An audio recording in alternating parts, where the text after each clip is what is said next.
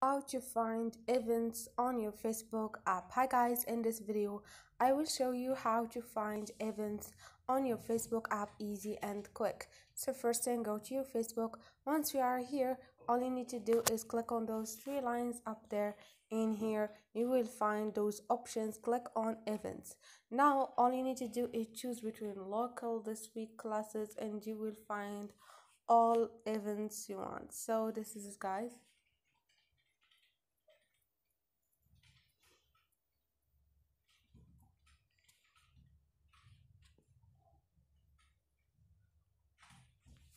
so it's so easy and quick to find events on your facebook account. Just click on those three lines and you will find a lot of options. So hope this video was helpful for you guys. If it was helpful don't forget to subscribe and like the video